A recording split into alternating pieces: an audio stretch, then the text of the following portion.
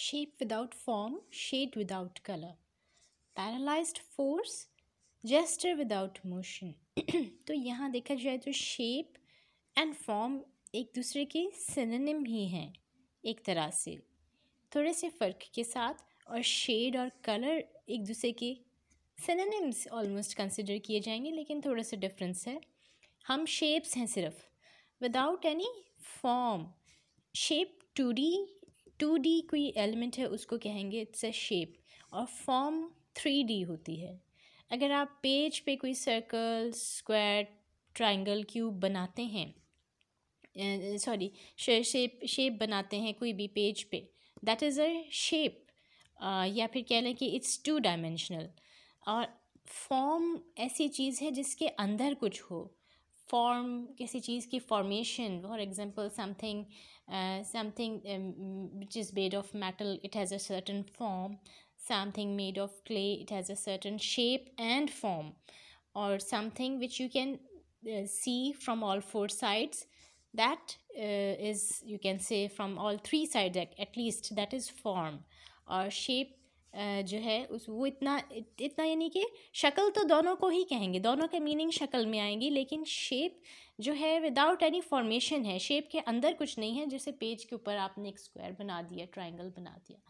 लेकिन समथिंग जो आपको ज़्यादा जगहों से विजिबल है फॉर्म होती है ऐसी चीज़ जिसकी लेंथ भी होगी विथ भी होगी ब्रेथ भी होगी हाइट भी होगी सो so, वो ज़्यादा डायमेंशंस रख रहा है form so we are just shapes ऐसे जैसे और शेड विदाउट कलर कह रहा है। शेड और कलर भी एक दूसरे के सिनोनिम्स हैं।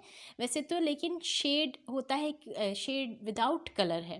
यानी कि बिल्कुल ऐसे जैसे साया हो। तो एग्ज़ाम्पल कहना हमें ये साए किससे मिलाना लाना चाह रहा है? कि जैसे साया होता है, कहीं किसी जगह पे पड़ जाता है बस। ज़मीन के ऊपर आपको अपना शेडो नज़र आता है तो वो शेप है दैट्स नॉट अ फॉर्म क्योंकि वो सिर्फ़ आप उसकी टू डायमेंशन वन डायमेंशन बल्कि देख सकते हैं on the on the floor या ऑन द ऑन समवेयर आपको अपना शेडो नज़र आ रहा है और उसकी फॉर्म नहीं है उसकी बस शेप होती है और एक शेड होता है आपके शेडो का कलर नहीं होता उसका कोई शेड उसका लाइट और डार्क हो सकता है आ, कम रोशनी या ज़्यादा रोशनी पर डिपेंडेंट होके लाइट डार्क हो सकता है। Most probably he's trying to say that we are ghost like creatures who are not at all uh, even visible who have no color who have no form who who do not exist even हमारी meaninglessness और purposelessness को ये lines बस highlight कर हैं कि इंसान की ज़िंदगी का कोई मकसद कोई उसका पर्पस नहीं रहा स्पेशली कि जब अल्लाह ताला के ऊपर से ईमान कमज़ोर हो गया सोललेसनेस हो गई लैक ऑफ़ स्पिरिचुअलिटी हो गई lack of any kind of religious belief है और जो सारी उनकी मेंटल सफरिंग उससे गुज़र रहे हैं वो लोग।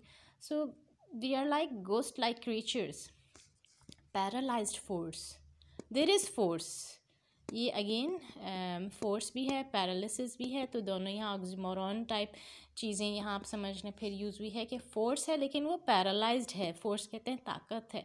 लेकिन पैरालिसिस के कुछ भी ना करने की सकत रखना पैरालिसिस का अटैक हो गया तो खास्ता वो हिस्सा जो है that becomes without any energy without any force you cannot move that part there is force but that force is useless because it is paralysed ताकत है भी तो वो जम चुकी है किसी जगह।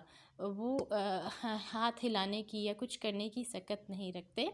हालाँकि ये फोर्स है भी अगर तो नहीं यूज़ में आ सकती। It's stuck somewhere without motion. Gesture and motion are also uh, synonyms of each other. एक तरह से थोड़ा सा फ़र्क है। Motion is something movement active movement आपकी एक जगह से दूसरी जगह। ज़्यादा विजिबल मूवमेंट है।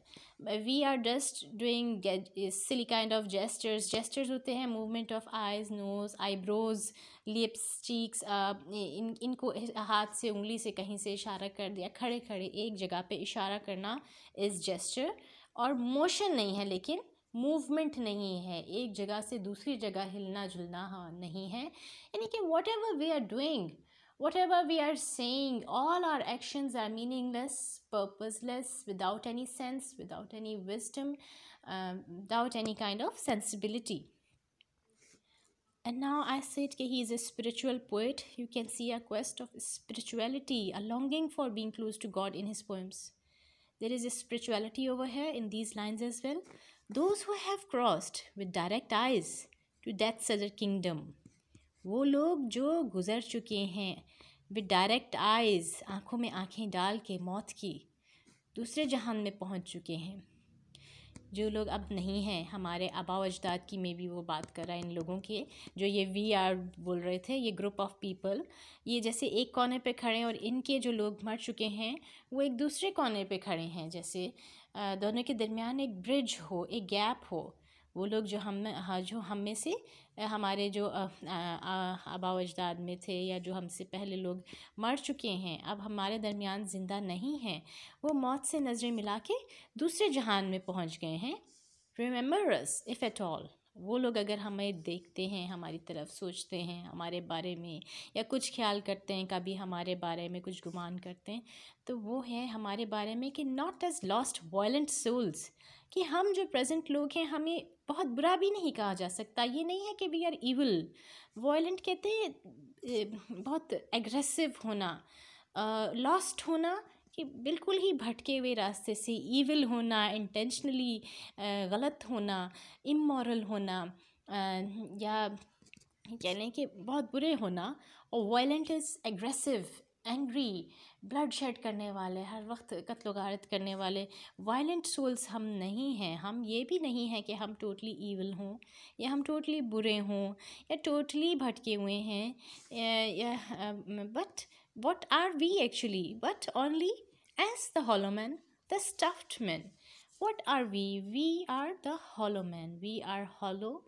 ना हम अच्छे हैं, ना हम बुरे हैं. नाइदर आर वी मॉरल और neither immoral neither are we good nor bad neither इसको कह सकते हैं कि neither to neither pious nor evil कि हम कहीं दरमियान की ही किसी स्टेज में वी आर स्टक बस मीनिंगलेसनेस है हमारी। हॉलो हैं हम, अंदर से खोखले हैं, अंदर से बिल्कुल we are nothing and we are stuff with stupidity nonsense and all you can say silly ideas